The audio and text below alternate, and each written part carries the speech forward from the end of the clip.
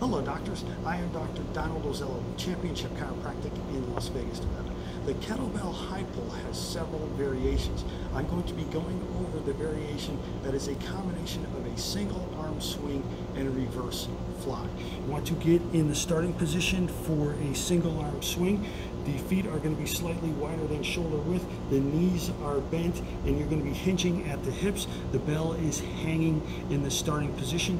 You're going to perform the single arm swing by performing an explosive contraction of the hip flexors. And once the arm reaches parallel, then you're going to be do, doing a reverse fly.